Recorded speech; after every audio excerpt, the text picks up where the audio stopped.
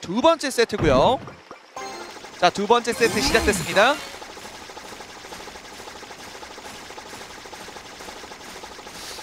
자, 아무래도 가장 강력한 아, 능력치를 보여주는 이살 이 선수의 에, 모습은 결국에는 조금씩 조금씩 상대방을 동마법 같은 것들로 깎아 먹으면서 갈가 먹으면서 체력을 닳게 만들면서 네. 아, 승리를 가져가게 되는 어, 그런 어떤 그 아, 지력이라고 해야 될까요?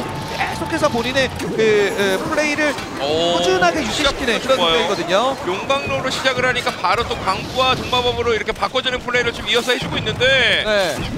오 좋습니다 바로 용광로까지 정리가 됐어요 아, 플라잉 머신 자, 그리고 얼음골렘을 이용해서 지금 막아주려고 노력을 해주고 있습니다.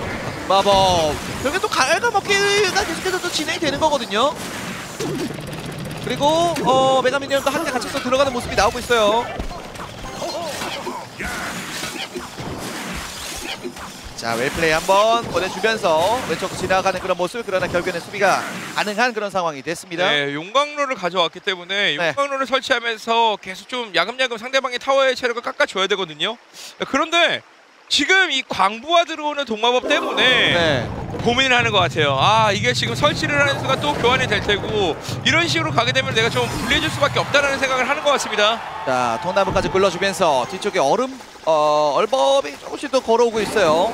그리고 동마법 뿌려주면서 또다시 갉아먹기 서로가 아, 동마법을 서로가 아, 교환을 해주고 있는 그런 상황입니다. 자 그리고 어, 체력은 한 1700 정도까지 깎아놨고요. 1800대 1700 정도 되는 것으로 파악이 됩니다. 일단은 상대방의 동마법이 빠졌기 때문에 바로 또 용광로를 올려주는 플레이를 하고 있는데 네. 신맥효 선수는 지금 정리를 했어요. 동마법이 있을 때만큼은 용광로를 설치하는 게 손해다라는 생각을 하고 있고 어 이게 서로 비슷한 상황에서 한번 들어가는 타이밍을 확실히 잡아야 될 것 같거든요. 네.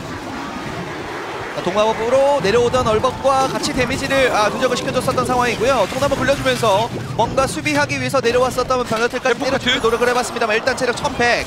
아, 꽤 많이 깎아놨죠? 이거 어떻게 네, 막냐 광부와 함께 내려오는 자리를 잡나요? 자, 그리고 독마법으로 어, 데미지까지 집어넣으면 어 많이 데미지 좀 데미지가 많이 들어가요. 데미지 좀 어, 어, 어, 어? 700. 자, 600까지 떨어뜨리는데 성공했고요. 받지는 않습니다만 이 다음이 중요하죠. 네, 이 다음이 굉장히 중요한데 이번에 수비만 네. 잘 해낸다면 다음 공격에서 경기를 마무리할 수도 있겠다는 아. 생각이 드는데 토네이도가 있네요. 네, 결국에는 킹 타워까지 깨우는데 성공을 했고요.